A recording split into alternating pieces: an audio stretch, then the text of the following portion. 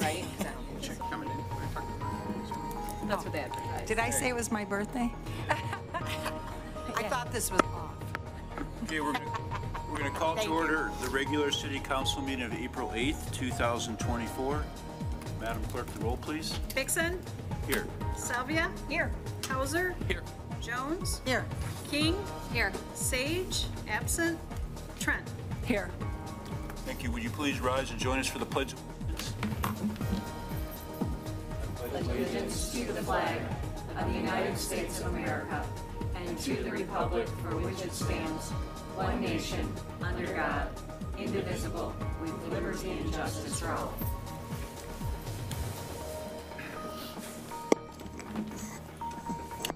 Thank you, everybody, for coming on this beautiful night. And it is Councilperson Jones's birthday, so happy birthday. If you didn't know. Happy birthday. Can I ask how, old? no. right? No. no. Twenty nine years That was a joke. And on a total eclipse of the sun. Wow, and the, the or Very universe, excited. the universe is on your side. is on my There you go. side. So, so tonight, um, just i- if, in case people have not heard, we had two members of our community who did a lot of things for our community pass away. Uh, had Ed Kane passed away and uh, Gail Kimler passed away. Both did a, had major contributions to our um, city. So I'd like to just have a moment of silence for them.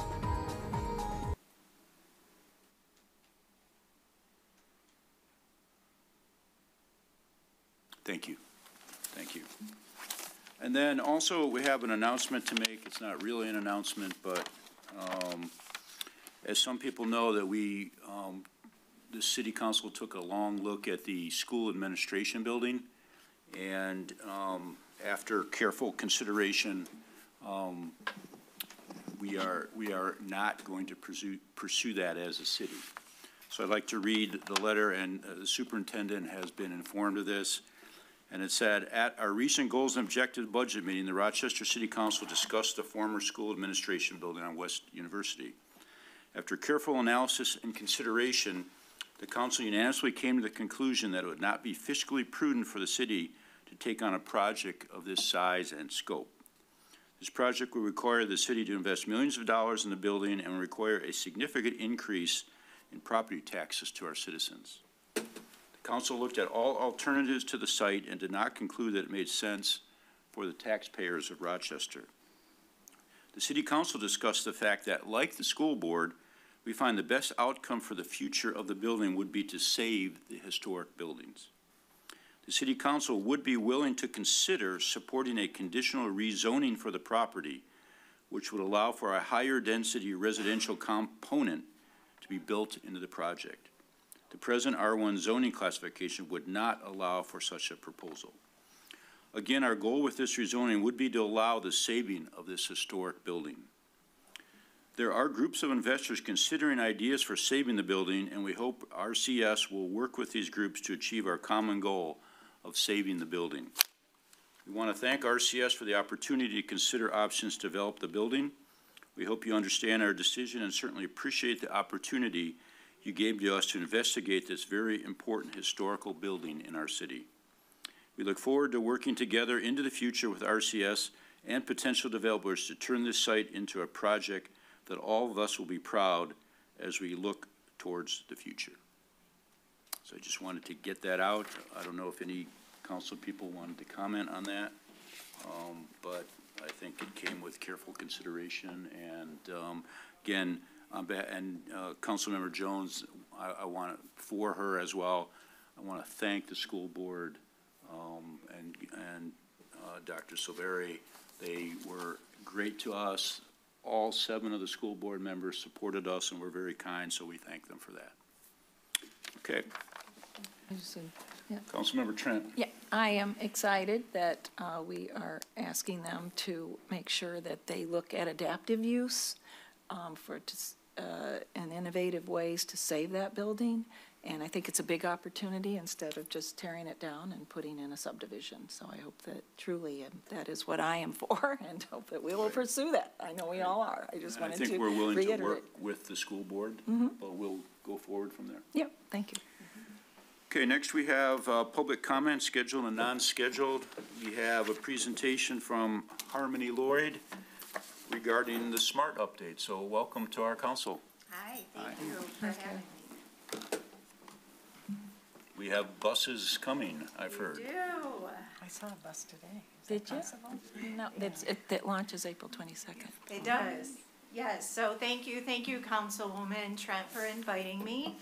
And for the Rochester city staff that we've been working with, they've been amazing and um, really helped us to bring everything together.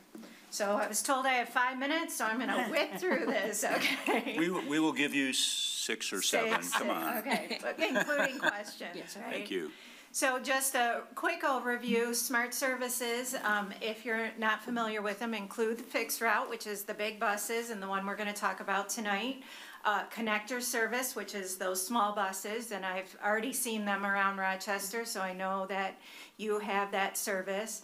ADA paratransit, which will allow, um, people that live within three quarters of a mile of the new fixed route to use the smaller buses where they will come to their home, so it's called curb to curb service, and it's designed to serve people that are unable to use the fixed route.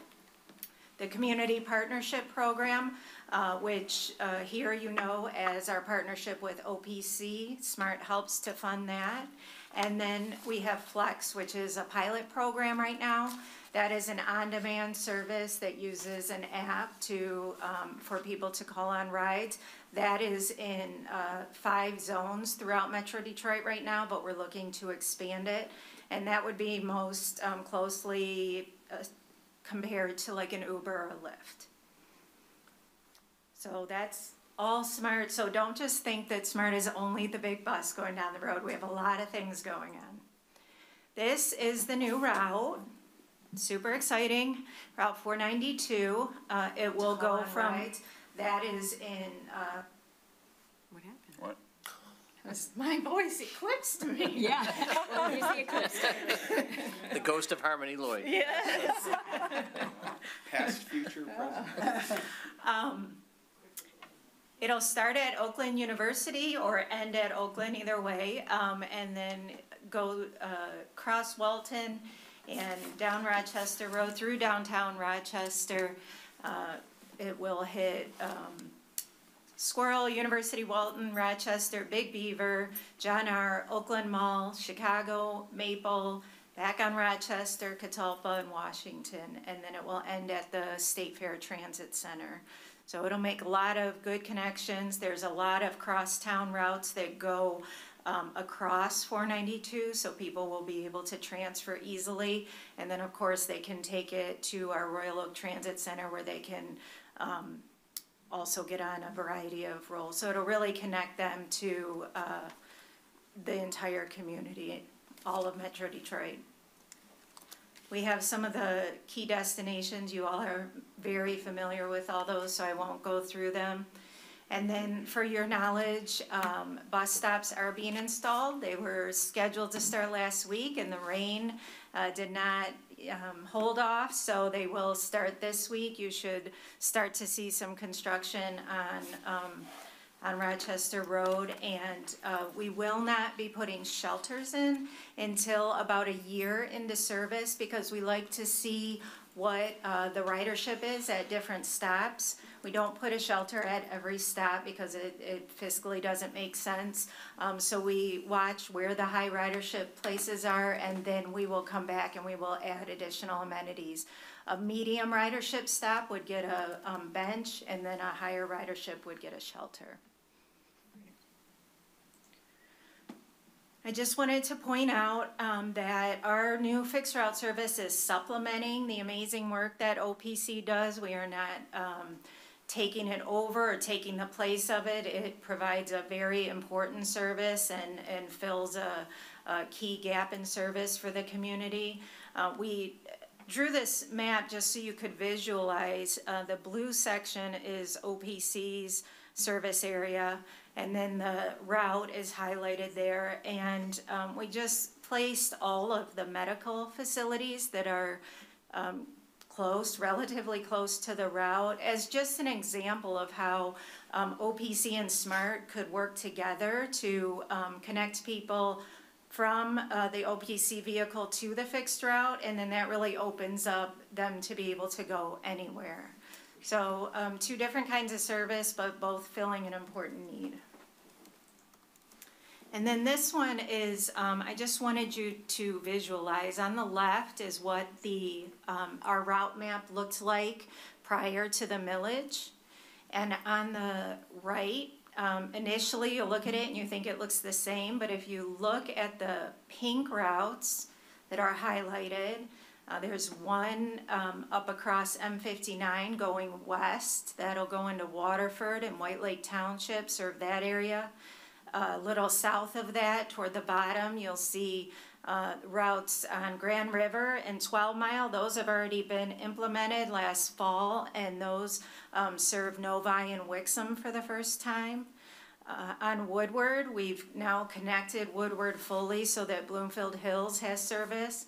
And then you'll see in Rochester, and you can tell on the map from the left and to the right, where there's now a major connection so that people can travel um, from all of the Pontiac area and then connect down into um, southern Oakland County, but also to really connect to anywhere they want to go. And so it's really key that um, we've made these connections. And I've heard many times, and I'm sure you have, that Metro Detroit or Detroit is not a public transportation town and that we have so much work to do, and this is how we do it by um, one at a time, making these connections and building kind of mobility services, getting people used to the idea of buses. And so just um, to close, uh, if you think there's somebody in the community that we need to talk to, we're happy to. I've done a lot of these and have a lot more scheduled. Um, I encourage you to share information about the route uh, with employers especially. That's where we've received a huge amount of interest is um, employers that can, you know, share this with their employees and allow them to start using it to get to work. Any other stakeholders you have. So with that, I'll be happy to answer any questions. Councilmember Hauser? Sure. Thank you for coming and explaining this to me. I appreciate that. I've got two questions. One of them is more general, the other one is more, a little bit more specific. So I was looking at the schedule or the route there. Do you have any idea the time that it would take if I was to pick up one of these buses here in downtown Rochester and get to the Royal Oak Transit Center in downtown Royal Oak? Do you have an estimate as to how long that would take? Probably, I'm ballparking. That's okay, but- yep. Okay, forty minutes? Forty minutes? Mm-hmm. And do you know the cost per, per ride? Two dollars. Two bucks, mm-hmm. okay, and each way? Yes, Okay, and that's all I got, thank you, okay. thanks. Councilmember Trent? Uh, Yes, I, I heard you speak at the Rochester Regional Chamber Legislative Meeting at the s- Chief Financial, and it was really a wonderful presentation, so thank you for coming. Um, So I just want to um, uh, ask, uh, tell, uh, I guess, inform or ask the city to do everything it can, and how do you promote this, to let people know how to promote and communicate this to the residents? Because I want to do everything I can, and I know the city does, to make this successful, and the best way to do it is to get the uh, residents to, to know and people to know that this service is available.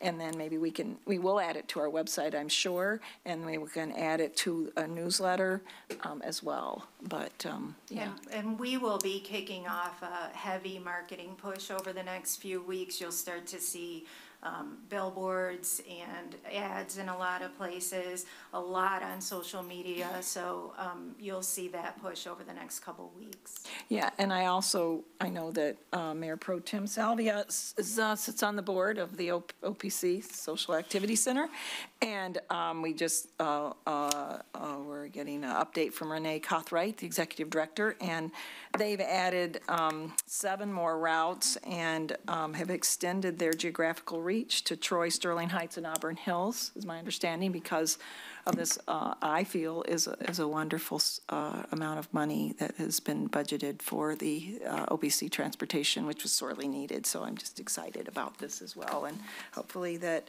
I think there's more people out there than people realize that need this type of transportation.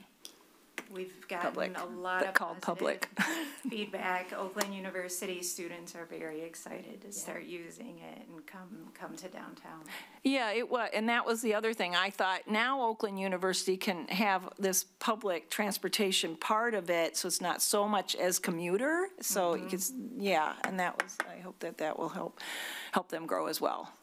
Mayor Pro Tem Salvia. Thank you. So, simple question. So if I'm a rider, how do I access this? Is there an app? Do they go to a website? How do they know where the routes are and how do they get that information? Um, they can always go to the SMART website, smartbus.org.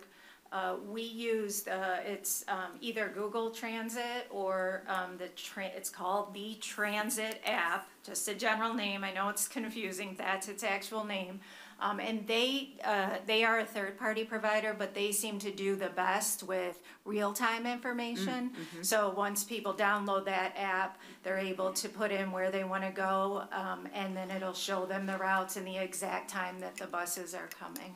Okay, great. Or just Google Translate, Google Trans, Google Transit, Maps and yeah, just, Google Maps, and then you hit the little bus icon instead of the car, yep. Amazing. That'll be great. Yeah, well, who knew that button was gonna work for us? I thought it was a placeholder. It worked in I know, Japan, trust but, me, I get it. thank you. Thanks. Anything further? Thank you very much for coming tonight. Thank you so Thank much you. for having Thank you. Thank you.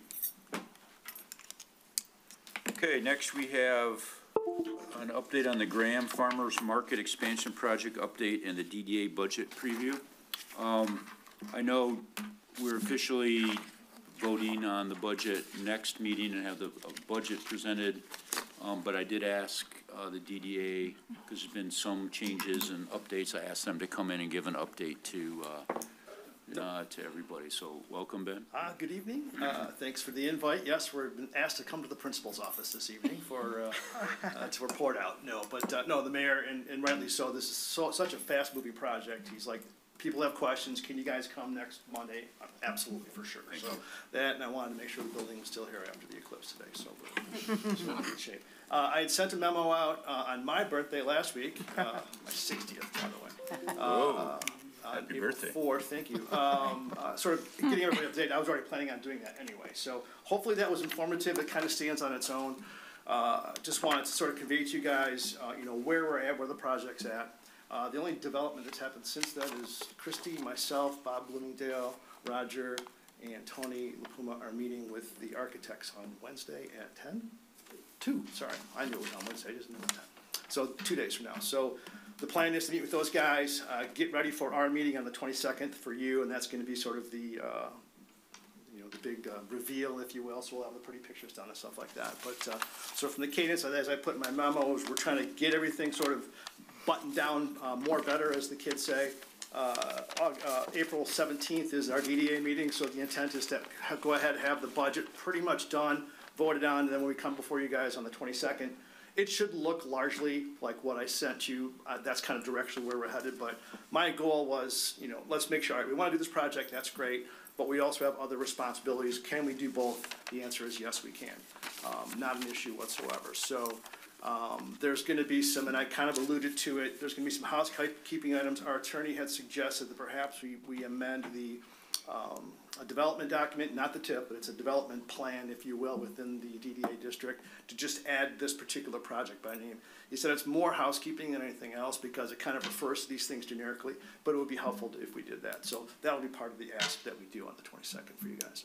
Um, but aside from that, really, um, just here to answer any questions. I mean, really, that's basically it. I've got no other updates than what was my memo, so, Okay, did you want to go into the, the- the financing change uh, the financing. change. from the land Oh, contract? uh, to the- sure, absolutely. Well, it was in the memo. Yeah. I just said everything's sort of laid Okay. out there. All right, so, um, on the twenty-sec, on the twenty-first, the last memo I sent you guys to give you an update, I sort of talked about that, and also during our presentation, said, our attorney had pointed out that it ma- it was, not, it was hard, it would just make it more complicated to do the combination of the properties if we do an existing land contract with the seller. So I, t- I asked the seller if they would be fine with us financing, securing outside financing. Yep, no problem. So, uh, did that, had a, uh, a DDA meeting, um, they authorized me to go into negotiations with the lender, which we did. Um, uh, several, and Anthony, uh, the Director Maggio was super helpful. He turned us on to a bunch of his connections, and we ended up getting several quotes back. And, uh, as I said in my memo, we were able to secure financing at, uh, just a tick under five percent, which was fantastic, given the fact that we had seven percent before. So we were able, able to sell about twelve-five, I think, a year in interest, which is real money, it'll spend. Uh, so that was great. Uh, we filled out the paperwork last week for the loan document, so that's sort of in process. Haven't heard a peep on that just yet. Um, so, uh, like I said, everything's sort of in motion. I mean, right now, it's just, it's the sausage making part of sausage, so. Uh, so we'll get through it. I'm sure there'll be some highs and some lows that we'll figure out. I know that our attorney said that the property still has a fair bit of title hair on it, so we're working through that at the moment, so. But nothing that won't be overcome. We Thank will, you. uh, Continue to press on. Mayor Pro Tem Salvia. Thank you. Um, I don't think I've been able to comment publicly on this since I was missed, uh, one Oh, of the meetings. you were in Florida. Um, but, um, so I just wanted to say, you know, especially looking at the financials, you know, this project looks, you know, so much better than what we've seen in the past. Looks, so this looks great. I've kind of floated the concept to residents and just great feedback from everyone. Everyone is super excited about this. So the numbers look great. Concept is, is improved and is a better win for the community. So just thank you for, you know, chugging through this and, uh, all the hard work. Thank you for pushing us. Uh, Councilmember Trent. Well, you know, I have to say something. I do want to thank you and the DDA board and all the hard work that it took to reimagine the farmer's market space after February 19th. So I'm excited about the Graham, and so are many, many people that I talked to. And the potential of this new building and the- what a wonderful addition it will be to the downtown and the many opportunities it has for programming. And let's not forget the public bathrooms. However, it wouldn't be doing my job if I did not address the following. That it was brought up at our last special meeting, at, yeah. The, based upon what your statement was in the letter, which I really think all the hard work that you must, I don't know how fast you type or how, these are a lot of information that you have supplied us, so I truly appreciate it. But when you said that you were, based upon being keenly aware of lessons learned for the first iteration of the architectural plans, I want to have a clear understanding, and I I do have to look a little backwards, a little side glance of saying, the assurance of a solid framework to be established that early in this project, like next time the architect comes, that he gains a realistic um, understanding of, the understanding of the expectations vis-à-vis the budget, so that there will be a clear plan to implement safeguards and checkpoints coupled with the assurance that with a I don't know, two and a half million, I'm not sure what the budget is. The architect will deliver plans that align with the budget that they have. They'll work that way. And I'd like to know what those safeguards are and what they plan to do differently, so we aren't looking at a project that's almost triple of what it was initially.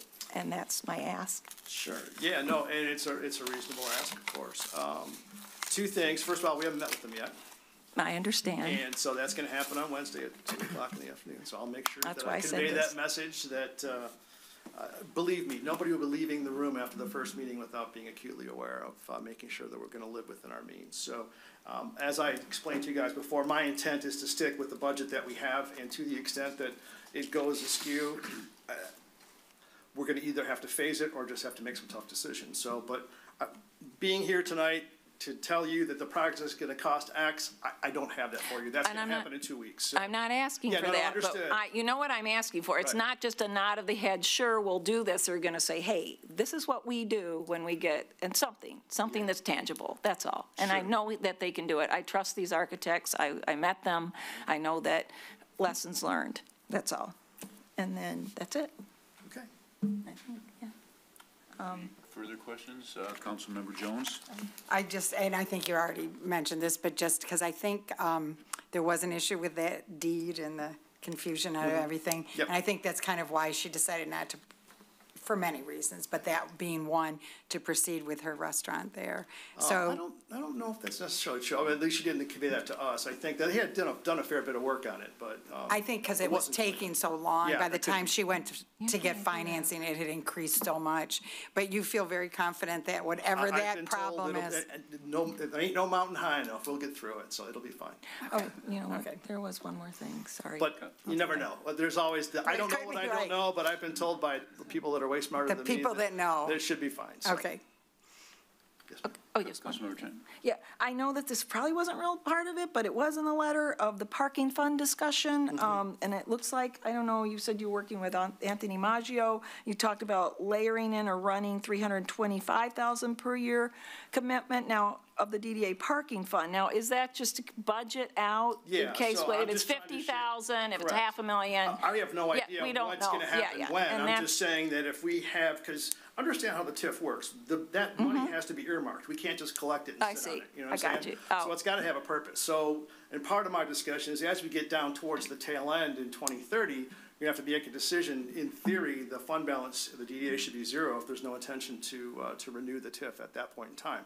So you're gonna have, there's actually more money there than what has been set aside. I'm just saying that this is, you know, we're, we're trying to be crystal ball seven years down the road, but I can hardly make it to next week.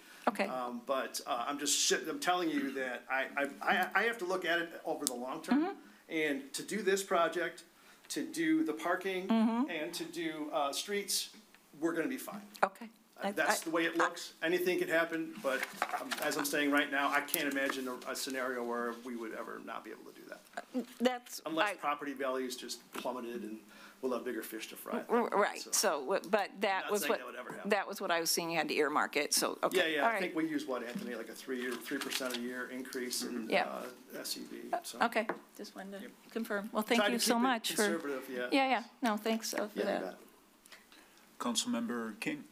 I just have one question, not necessarily specific to the project, which I really do like what you guys have come up with. I think it'll be a much better um, solution. But just, can you help me understand, we've been going through budgeting and we've been talking about our fund balance and the mm-hmm. general fund policy.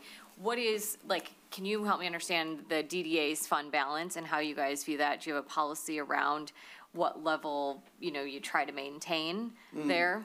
Yeah, so the DDA TIF works a little bit differently. There's, the fund balance has to be earmarked for development within the pro, within the district. So if it's sort of unencumbered fund balance, you're supposed to flip it back to whoever the, you know, so a portion will go back to the city and to the different, you know, county and, and the different collectors. But what we've done is we've earmarked, um, uh, physical improvement projects in the district, you know, streets and, and parking. So whereas the city has a fund balance, has to maintain a certain dollar amount, the DDA is kind of a little bit more of a gray area.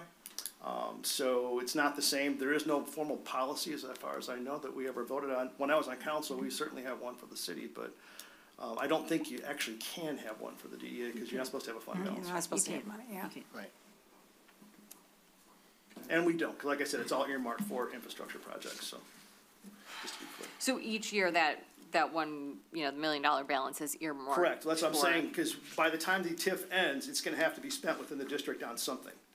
So we've got seven years to figure that out, right? But, you know, I, I, who knows what's gonna happen between now and, and twenty thirty, right? So, um, yeah. I don't know if that was helpful or not, but I feel like I didn't answer your question, so I apologize for that. But it's kind of, the, the TIF works differently than the city does. Thanks. Councilmember Hauser? If I may, just to follow up on Councilperson King's question. So let's just say hypothetically, there's a half a million dollars that's left over with the DDA at end of the year. The idea is, is DDA is gonna spend that internally and the city versus, otherwise you'd have to Correct. give it back. Yeah, So it makes, it yeah, okay, that's, Yeah, I so it's get like it. a rolling total, and, Yep. you know, like we were saving before, we had a million three saved for the first iteration of the project. COVID came, fund balance gone, but it was all sort of spent on that, so it's just, you know. So I, I would say, in thinking ahead, if you, and I don't know who's gonna be on council in twenty thirty, but hopefully you guys all will be, will be like walking in. Uh, but, uh, at that point, um, you know, we'll have to, whoever's on the DDA at that particular time is, you know, first of all, we'll get some indication of what the, the temperature of council is as to whether or not the, uh, um, would it be extended or not, which of course we hope it would, but you never know. Um, to the extent that it's not, then we're gonna have to, a budget will be submitted, which will in effect drain the fund balance last year. That would be sort of the way I would approach it. Very good. Any further questions? I'd just like to say also, I like the enthusiasm unknown to mankind. I did that for you, comment. Stuart, that's the only reason, I, you were the only one that I knew would appreciate it. Well, No, I'm because sure everybody Jeff- else is Michigan State. I'm so sure Jeff appreciated it too. All right, any further questions? No, All I, right, you for cool. So we'll see you guys on the twenty-second. Uh, it's gonna be long, so I apologize. It'll be much more than five minutes. And then lastly, really quick, I just saw that they're redoing Walton all the way from OU basically to, um, Helen Street. And it's gonna be throughout the entire summer, starting next week and going down the end of August, so. Oh, that's great. That's Yeah. I Thank know, you it's for awesome. that. Thanks for the reminder. Yeah, so as she's doing her bus presentation, I'm like, that's, I hate to throw a monkey wrench into your works, but the main artery is gonna be tore up, so. Good timing. Thanks, guys, appreciate it. Thank you. Thanks. Um, Brian, is there anybody up there? Thank you, Mr. Mayor. There are no public comments. Okay, thank you. And I just, uh, I, I was remiss, I just wanted to say, um, we have, uh, uh, our city treasurer, Anthony Maggio, uh, sitting in for our city manager tonight, so Anthony, thank you for being here. You're welcome. Okay, and on to the quarterly financial report. Any comments while Anthony's here? No. Okay, if not, we are not going to have approval of the minutes tonight. We're going to move on to the approval of the consent agenda. And the consent agenda is consideration to approve the Art and Apples Festival. Uh, Councilmember Trent. I will make a motion to approve the Art and Apples Festival. Motion by Councilmember Trent, Second. support by Councilmember King. Madam Clerk, the roll, please. Bikson, Yes. Salvia, Yes. Hauser, Yes. Jones, Yes. King, Yes. Trent. Yes. Thank you. I think that was a pretty easy vote. Um, Next are no old business or table items. There's not a public hearing, legislative deliberation, reports and regular business. First, the consideration of a resolution to amend the Act 51 roadmap to MDOT by, oh, I, I, I'm sorry, I thought I asked if anybody had any questions. Oh, I thought he was gonna have. We'll give need a Oh, you have a presentation. presentation? Yeah. I'm Or sorry. a motion. either. Oh, I'm Because we sorry. do have Anthony amendments in it, Maggio. so yes. Uh, Back to, uh, I had to find the presentation, but I back now to have quarterly financial report. sorry, you were on a roll. We don't want to You were miss I this. was, I'm telling you, listen, birthday. Don't deny that. Trying to help a person out. Brother out. Okay, okay, it's a birthday. Okay, got it. He's on one side of the. I will make this, uh, I will make this brief a- as usual. So we have a few items, uh, for the review and consideration. We do, uh, I am looking for a motion to do two things. Uh, the list of the amendments is here. Uh, the first is changing both the current fiscal year and the next three years, uh, due to the wrap up of the March board review and getting much closer, still not final, but much closer values, um, uh, for real property. Uh, spoiler alert, we now have reached, uh, the one billion dollar threshold on taxable value. Uh, so we have now just, uh, just squeaked by on that one. So the, the first one is to amend that. Uh, as council and residents are aware, we always keep the budget live and up to date whenever we get new facts and new information. We put that into the budget for the, whatever term it's for, in this case, it's, uh, current year and rolling forward. Uh, so we wanna make sure that, that we highlight that. The second part in there is, uh, there's no change, it all nets to zero. Uh, but we're rebalancing the general fund, so we'll have the presentation, obviously, at the next council meeting for the budget, uh, uh, adoption, but as we're here now, I thought it, uh, we're already making some amendments and it'll help in the final numbers to get these in there ahead of time.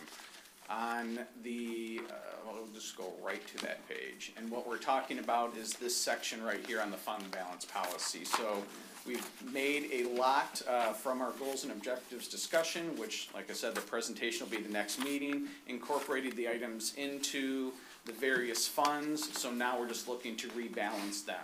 We've done, this will be the third rebalancing, it usually is just every few years or so, and it depends on the cash flow, the needs, which projects end up coming forward or which got canceled.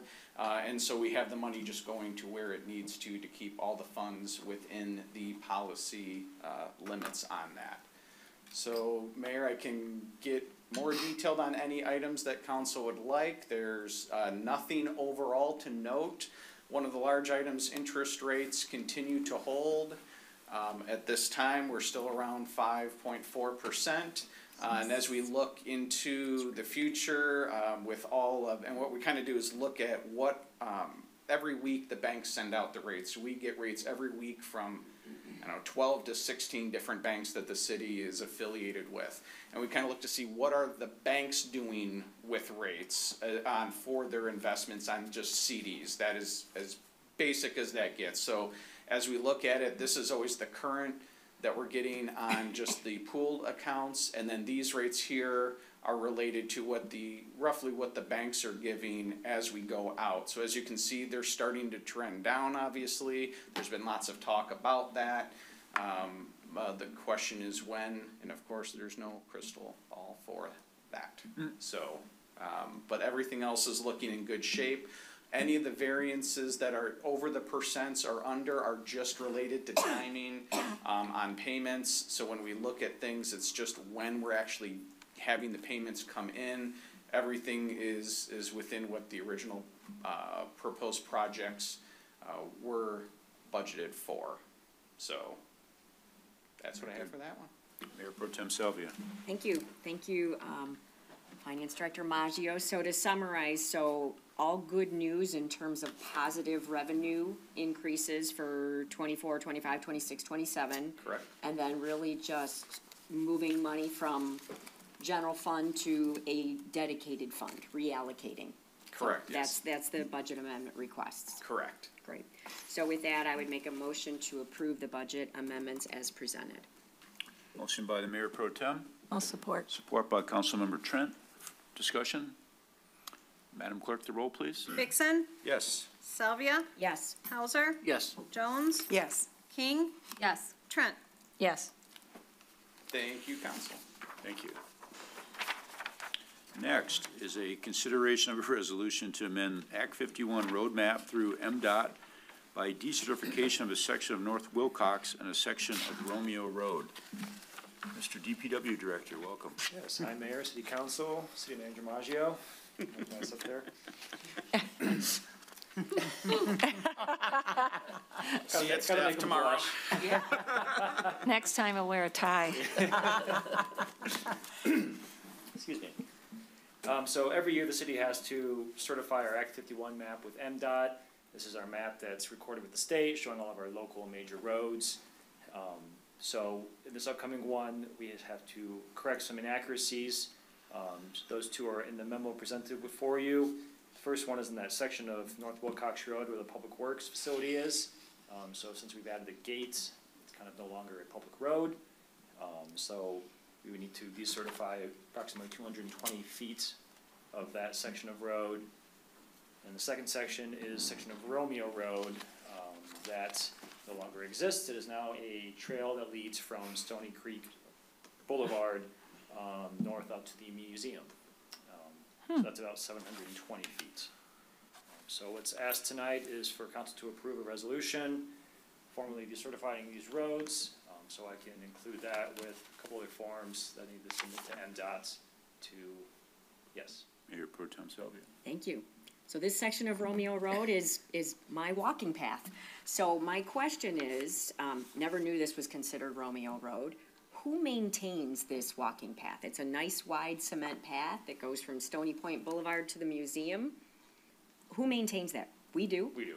we plow it, we, we salt it. it, we mow, we, um, if we had to replace the concrete, we would replace the concrete? All the way up to that bridge there. Okay, all right, so I've never seen that in any of like our parks master plan, or like when we look at the paths here in this part of the park, so, you know, obviously I agree with recertifying the map, cause this is not a road, you can't drive your car down it, but, um, we should include that in our updates for parks master plan.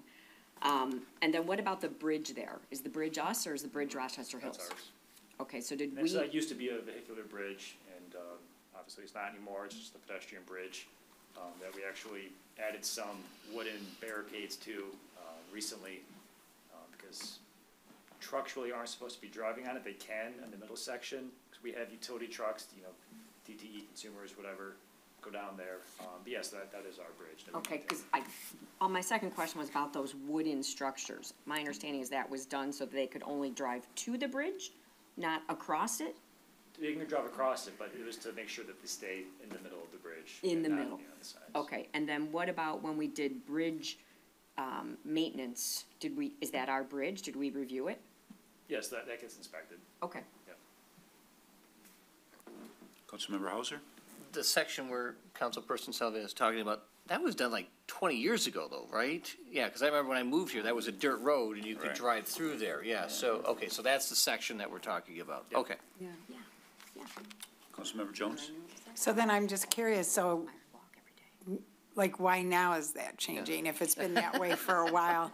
It just wasn't caught before, or no real reason? Apparently, I wa- wasn't here when that happened, but yeah, we're, it's a change that needs to be made now. Well, thank you for doing that then, Yeah. for correcting it, making it as it should be, so, yes. Do we have a Yeah. motion?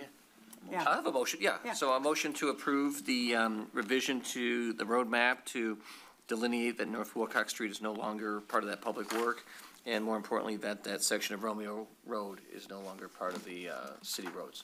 And one last thing, um, this is the, our mileage on this map is what dictates how much money we receive from the state. So technically, that amount would go down. I mean, we've got around forty-three miles total of roads, so seven hundred and twenty plus two hundred and twenty, you know, it's not a whole lot, but technically it is, Understood. Be about a quarter mile almost. yeah. Yeah. Support. Motion by Councilmember Hauser, support by Mayor Pro Tem Salvia. Discussion? Madam Clerk, the roll, please. Bikson, Yes. Salvia, Yes. Hauser, Yes. Jones. Yes, King, Yes. Trent. Yes. Thank you. Now we have a receipt of the check register report, which is what I thought I was talking about before. If there's any questions for Mr. Maggio? Just throwing you off tonight. If not, it's not that hard, probably, right? Uh, next, receive a report from the various boards and commission. Uh, we will not have the historical commission report tonight. Uh, report on the DDA special meeting of March twenty-eighth, two thousand twenty-four. Yes. Councilmember Trent?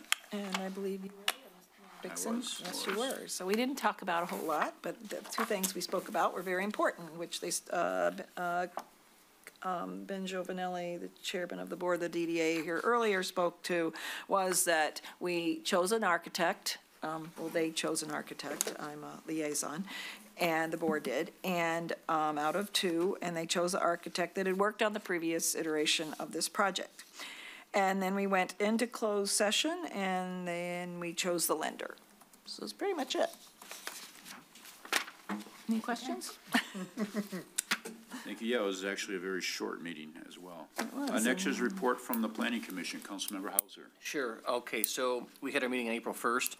Uh, there were three topics that we discussed. One was the, uh, public hearing for the facade change for Oak Street Design located at one fourteen West Third Street. They've come to planning commission, they want to do a very nice update and, um, upgrade frankly to the uh, facade, so we had a discussion about that, that was passed.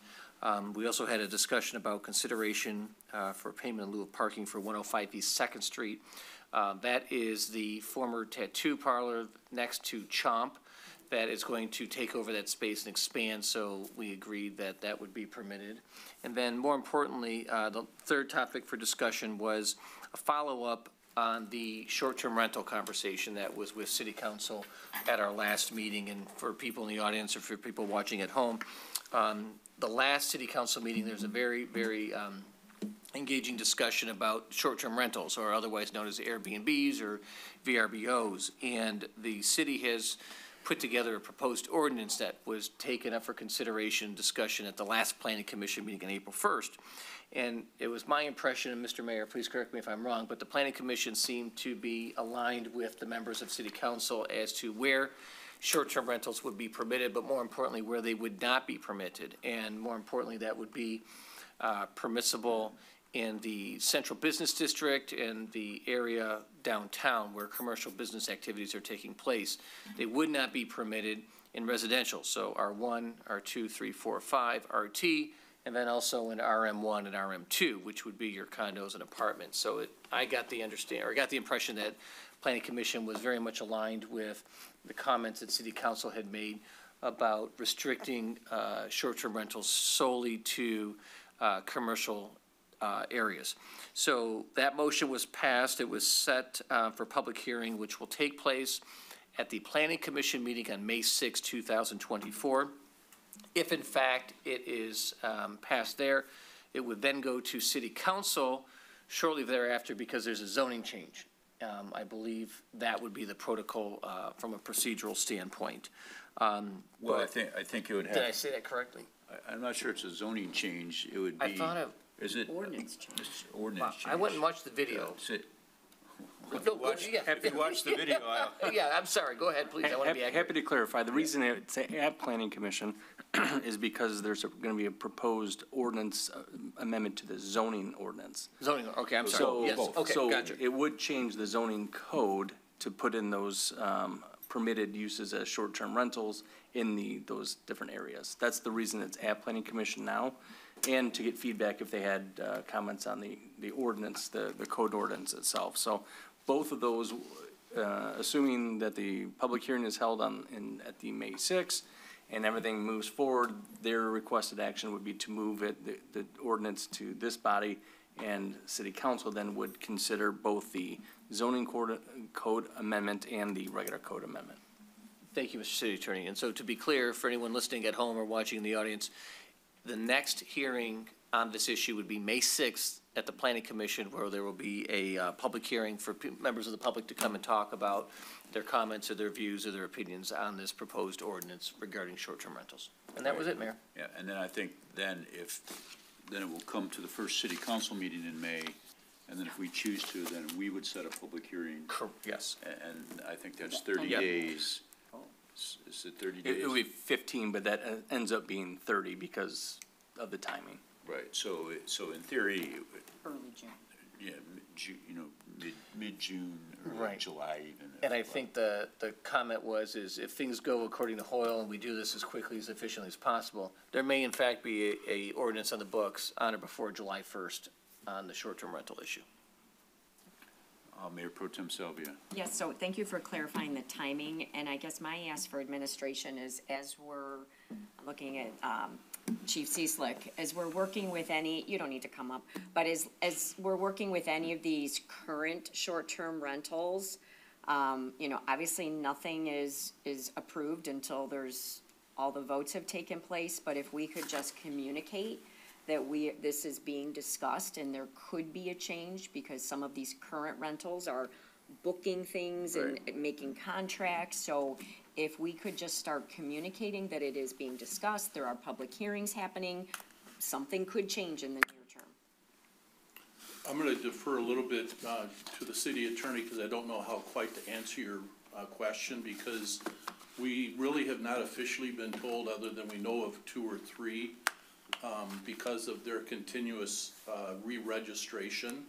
So clearly, uh, Mayor Pro Tem, there are other ones out there that are operating that we do not know about because they're doing it below the table in sen- in sense. So as much as I agree with you, we'll do our best. But that is a potential problem, and maybe I'll refer to Attorney Crott to comment.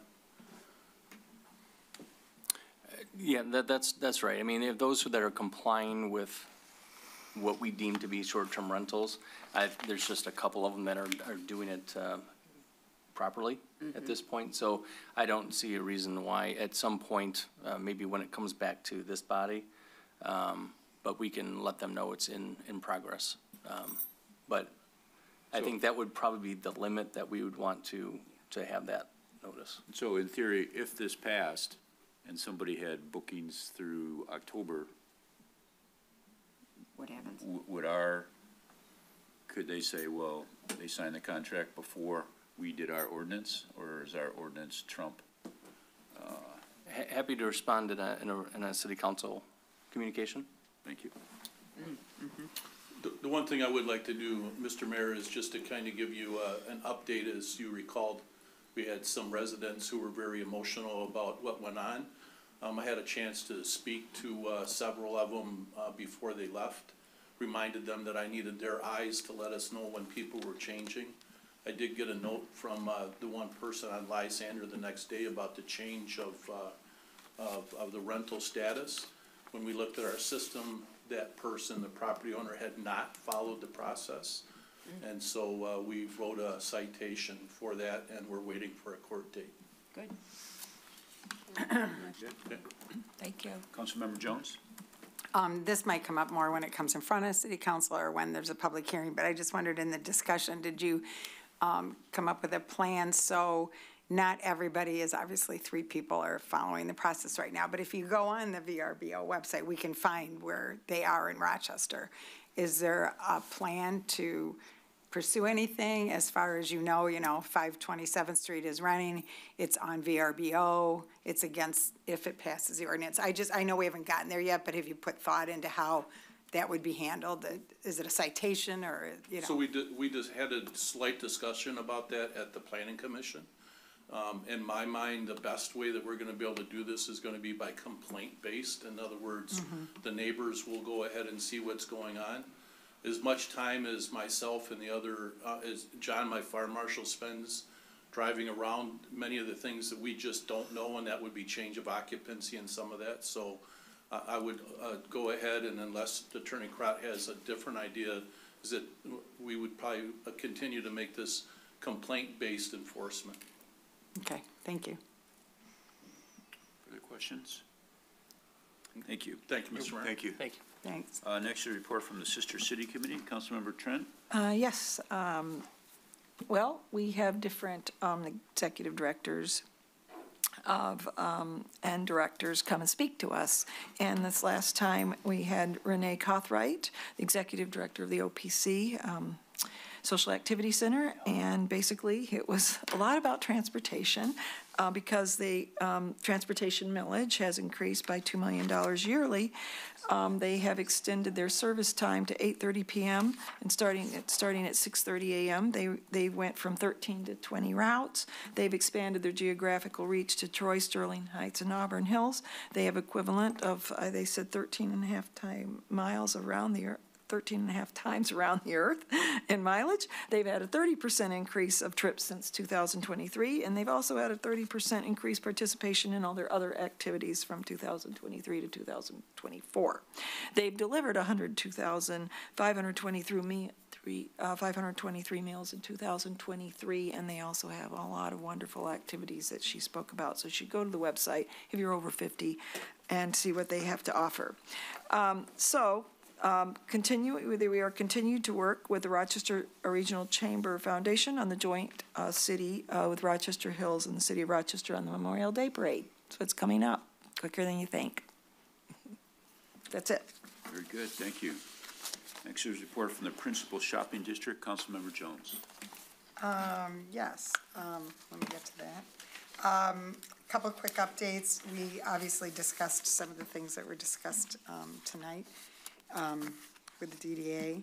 And then we, um, talked about Deck Art. Uh, last Friday was the last day to ad- sign up for that. Uh, five nine to five ten are the actual, it's the event night.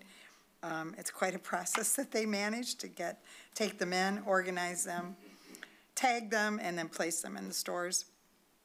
Um, the, uh, May fourth is the first day of, uh, the farmer's market, and they are, give out five hundred bags, and twenty-five dollars will be, twenty-five dollar certificate will be in twenty-five of the bags. They're just doing something a little different this year. Um, they, she was kind enough to say that if Raya wanted to put in, uh, information, because we are doing a pancake breakfast that day, um, she'd be happy to put our flyer in, so that was really nice. And the Makers Market is going to be on June twenty-second. I think those are the highlights. Very good. Uh, next on to public comment. I actually have one thing. Um, for some reason, Raya is never listed for a committee report, so I wonder if that could be changed. So what you need to do is make sure that administration gets Gets a the copy. agenda. Okay, and then Because it'll we- get we put did- into our cycle, because I had, I had a similar situation. okay, so I'll send the agendas, okay, because we did have a meeting since our last, um, so can I speak of it, even though I I'm think not you on may. it? Okay. It's your birthday, right? I- It's my birthday, I get to talk about whatever I want. That's right. Um, so, we have a couple things coming up. Um, we did have a, um, a successful event on health and safety. It was a summit that we did with RCS. It was at Adams High School. It was extremely infor- informative. Um, it's our second year of doing it. John James surprised us and he stopped by, which I thought was really nice. And, um, so that was a success. We have Amy Dramer, who on um, April 11th is going to do at the public library um, an event on harmful teen behavior, so she's gonna talk about vaping, et cetera. And then on May second, we have a water and boating safety event that we also are doing at the public library. And then, as I mentioned, we have the pancake breakfast, that's going to be the opening day of the farmer's market. And I think that's it. Thank good, Thank you. Uh, next on to public comment. Uh, Brian, any, Thank you, there are none. okay, anybody in the audience like to, public comment? Come on up and identify yourself, where you live. Welcome. Thank you, Mary Bikson. Uh, my name is Rich Power. I live in the city of Rochester on Hemlock in the Great Oaks subdivision. And, uh, my question is, does anyone know if there's any plans to repave the Paint Creek Trail? It's getting pretty worn down and, um, I don't, uh, I, I wanna say, I don't think there's any plan to pave that trail. They've, they've kept, they wanna keep it non. If I may. Richard, do you mean repave it, meaning pavement, or put new crushed limestone on there? with new crushed lime. Okay, Right, yeah. okay, yeah. I, I think there is a plan to do that. Yeah, I think, I think we are discussing, um, you know, what types of surfaces and when to do it and how to do it and, um, and, you know, and I know in the spring it tends to get a little muddier and ruddier, but, um, yeah, we are, we are talking about It's that. kind of been bad for a while and really the whole trail, at least up to Gunn Road, really needs it too. And, uh, And I think that, I think the Trailway, uh, and Councilmember Sage is our representative, but I think there's been talk about redoing the whole, the whole trail, and having each city, each municipality, um, you know, prorated pay for that. And if we could put a lot of thought into the softest lime we can get, because some is harder than others, and some seems to become like concrete Oh, more that's readily good to than know. others, so. Yeah. that we Okay, could- Councilmember Hauser? Mr. Power, nice to see you. Do you have Mr. Sage's email address? Yeah, What I would suggest is you send him an email with these concerns and some comments, and I know he'll get back to you, because he's the representative for the uh, Trailways, okay? yeah, because the other issue I have is that there's uh, quite a, a water problem out on the trail, right up by this new bathroom. And if we could get some help getting that fixed, it would be real nice, because it becomes a problem all winter and really all season, all year long. And it's, since that new bathroom's gone in. It's a perennial issue over there, yeah. Right, but it, it seems like it could somehow be fixed, because it really is only about a two hundred feet long, hundred and fifty feet long. That's good to know. Very good, thank you. Nice to see you. We, we do love our trail. Yeah. Um, Ms., uh, Councilmember King? I just have, I have a miscellaneous, um, comment, uh, going to the trails. I, do we have plans for any more of those, of the lighted crosswalks throughout town? You know, where you press the button and, Uh, Mr. Maggio? Yes, uh, so when we looked at it before, uh, we just had four spots identified as being high-traffic and hazard areas with potential issues with visibility and setbacks on whether it was trees or signs or walls or buildings and all that. So right now, all the ones identified have been completed. So if there's any others of concerns, we can look at all of them, but there's no other ones uh, pending right now. okay, I've just gotten, I've gotten some feedback with the design of them, which doesn't help the ones that are already in, but if we're thinking about future ones, um, especially like at the, the trailhead, um, the signpost that holds the, you know, the sign, it's also where you go to push the button, it's right at the road, so if you have a child who's approaching on a bike, you're sending them, you know, right up to the road to go hit the button, they go out a little too far, you you know, that's potential danger, so it would have been nice, you know, like you think about the crosswalks downtown, right? They're all set back away from the road. Unfortunately, these were designed where they're at the road. So it would have been nice to have them set back a little bit, or even if the button was further back. So if I understand you, it, you would want it like six feet ahead. s- Right. Right, you know. And, and I think sidewalk. people, from what I've seen too, people aren't necessarily pushing it because they're already at the road. Right there, The cars are either stopping or they're, you know, it's kind of like, The button Too almost late. needs to be like ten feet in front, so you hit it and then it goes on, so there's like a little bit of a delay, so that's, but, I get- is that what you're, yeah. Yeah. Or Yeah, you we'll just, take a look. people stop further back. Probably not worth taking them out, moving them back, but if we're thinking about new ones, I think the design of that could be a little bit better to, for, to be safer. Very good. Got it. Uh, miscellaneous, Mr. Maggio, anything tonight? Nothing, Mayor, thank you. Um, Madam Clerk? I have a couple of items, Your Honor. Um, first, the Memorial Day, um, at Mount Avon. Uh, Maggie Belbitz is gonna pre, make a presentation at the next council meeting regarding the parade. I Just wanted to give you a couple of highlights with us. I didn't hear that I needed to make any changes from last year's event, so, um, we're starting at eight AM. Um, Poet laureate, uh, Robert Lytle has already agreed to, um, read a poem for us. Um, we're still looking for our guest speaker. Um, I have one more lead, but the gentleman that you sent me, Mayor, he never responded back to me. So we're still looking at, I'm hoping that the Arbor Day, maybe, when we're, you're inviting vets over there, that if you're over there, that you could, uh, try to wrangle one. Um, Maggie has secured the Rochester Adams High School marching band for us. Um, our event will be followed by the parade going from us down to, um, Veterans Point in Rochester Hills. Their event will start at ten thirty to allow time between the two events and the parade. And then we have a new, um, new item and Fire Chief has offered, um, hot dogs at, uh, the fire, um, station after the parade, so about eleven thirty. So um, Maggie will have more, and I'll keep you posted on the speaker. My second item is looking at the calendar far ahead into election season. I see that um, the second meeting in October is scheduled um, on the week that we're gonna have early voting going on in here. So we have, there's, this is gonna be an ongoing, um, issue every November.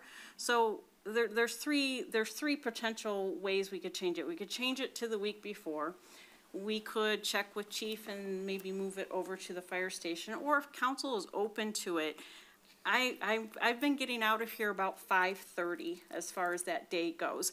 If council doesn't mind, we could move the poll booths back against the wall, put the chairs out. It would look a bit more cluttered than it always, but I think we could still use this room, um, for that meeting if you don't mind it still being somewhat set up for, for, um, the voting. So something to think about. Obviously, we don't need to make, make a decision, um, tonight or even in the next couple months, but that's gonna need, need to, um, be looked at. And going forward, what you, what you wanna do. Councilmember Hauser? Do you have a preference? Um, I, I think with CMN, um, it's difficult, you know, that's a lot of work for them to move over there. It's a lot of work to displace this. Um, maybe, um, if, if anything, maybe changing the time to seven thirty so that we have a little bit of extra wiggle room. Um, I, I think leaving it in this room would be perfectly fine if, if council doesn't mind seeing the voting booth set up and, and just move some tables around. I think think we we're can good with that. accommodate that. Yeah. I think we're good with that. And then, uh, yeah, so that would, okay, we'll, we'll move forward with that then. And, um, that's all I have. Thank you. Good, Thank you. Uh, Mr. City Attorney? Uh, nothing, thank you. Councilmember King? Um, just one thing that I did notice, there would be a meeting typically on, I think, September second. With holidays, do we have a meeting on Labor Day for city council, or no? It's always the next day after. Same with, um, Memorial Day. Memorial Day, I was, that was my question, is scheduled for Memorial Day. That was the The other one, day thank you, yeah.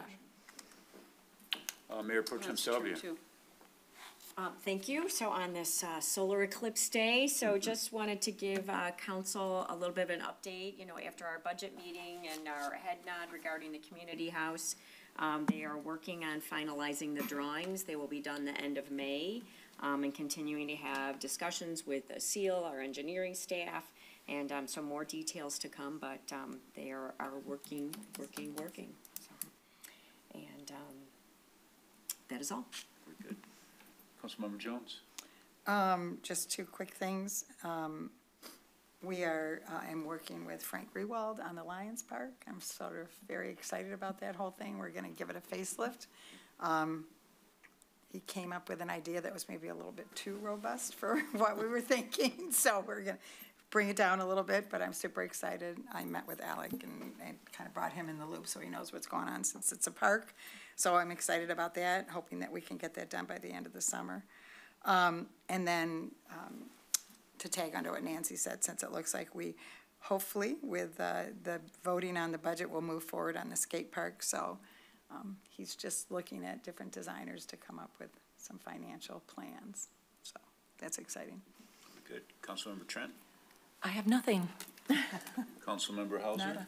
Just very briefly, I want to thank the Chief Cieslak for addressing some ordinance issues that I had for some blight. He did a very good job, and I saw that the uh, issue that I had brought up has been remedied. I've got a few more, I'm sorry to say, but Stay on it. we'll go through them. And, and, and it's one of those things that our standards are quite high, they need to be, and I think that they're there for a reason. So I'll work with you, Chief. So thank you very much. I appreciate that. Good, thank you.